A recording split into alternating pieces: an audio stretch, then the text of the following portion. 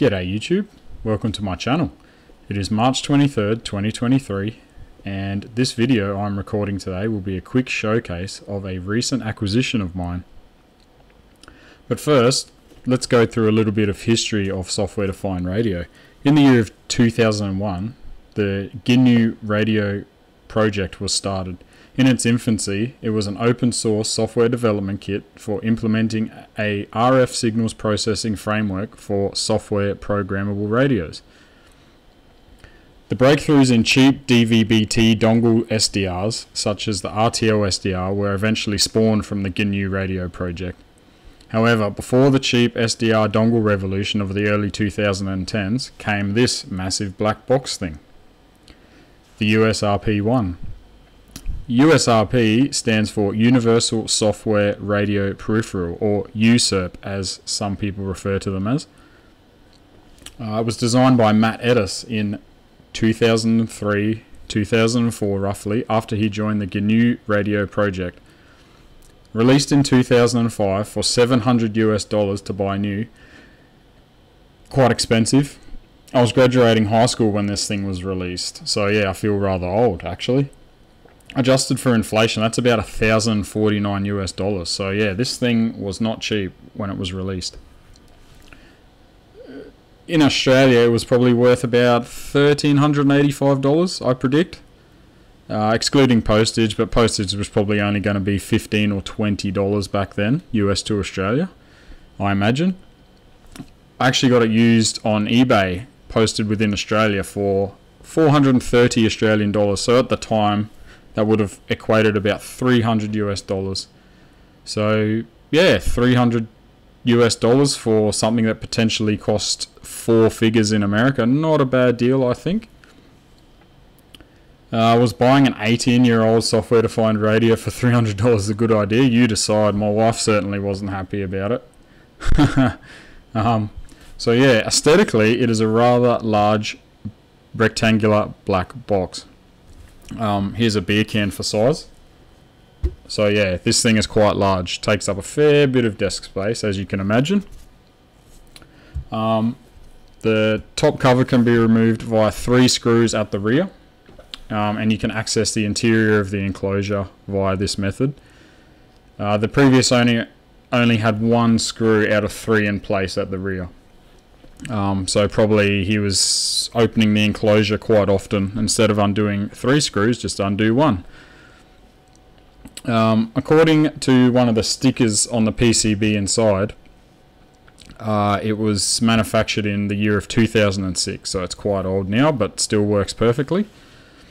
Um, it's powered by 6 volts DC, uh, mine didn't come with the power supply, so I just bought a generic one, which I sourced from the Radio Shack equivalent in Australia called Jaycar.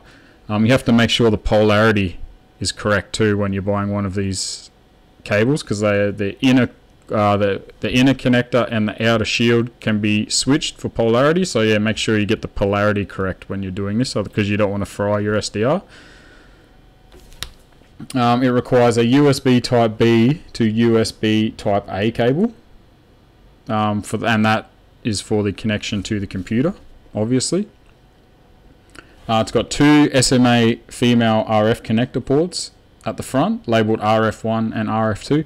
I actually printed these labels out um, because that's what the PCB says, and I kept forgetting which port was which. So RF1 uh, can transmit and receive, and RF2 is receive only.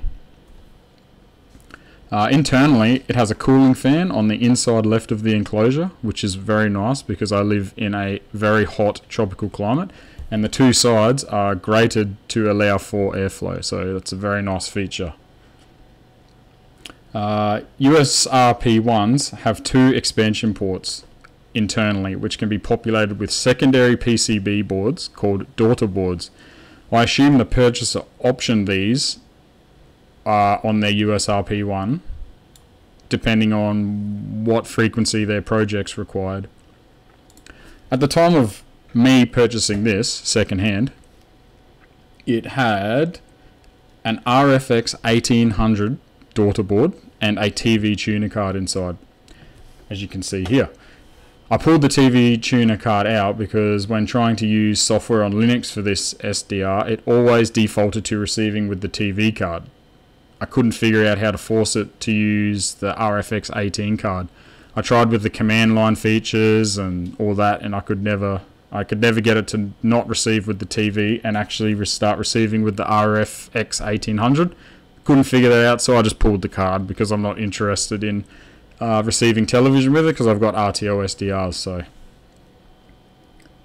um, so the RFX 1800 card has a frequency range of 1.5 gigahertz up to 2.1 gigahertz in the L band of the radio spectrum. It's full duplex, which means it can transmit and receive simultaneously. Uh, out of the out of the box, it can't be used for running cellular base stations because the internal 64 megahertz clock reference and oscillator are too unstable to cope with the very specific timings that cellular networks require. It can be modified to accept a more modern and stable 10 megahertz external clock reference, but this is beyond my technical ability. If anyone knows someone who could perform this modification for me, please email me. Uh, in the future, I would like to populate the unused expansion slot and add an RFX 900 daughter board for dual band 900 MHz and 1800 MHz GSM receiving. If anybody knows of one of these RFX 900 boards for sale, please contact me. So now, hopefully, if everything works, I will attempt a live demonstration of this USRP decoding a Rogue 2G base station running at my premises, powered by my Blade RF and Yate BTS. So here we go. I'll just uh, open a command line to my second PC terminal, SSH. We run Yate BTS like so. And then once that starts running, I will switch over to another terminal. And we'll open Wireshark. And then we will run this command here with grgsm livemon and hopefully we should get some packets flowing as we receive the rogue 2G base station. So here we go.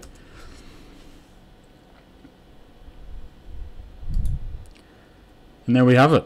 That is a nearly 18 year old SDR decoding a Yate BTS rogue base station. So yeah, that's very cool.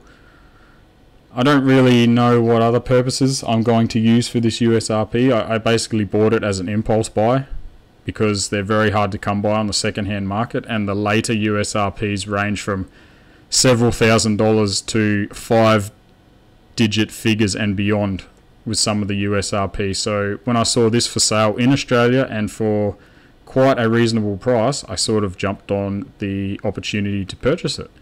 So yeah, anyway, I thought I would just showcase my new purchase for everybody there. It's a very nice piece of gear. Um, it's got a lot of history behind it with GNU radio and SDRs in general. We can basically thank all the RTL SDR advancements of the early 2010s on this thing. So yeah, it's a nice little piece of history I've acquired for myself. So yeah, thanks very much for watching everybody and I'll catch you all later. Bye.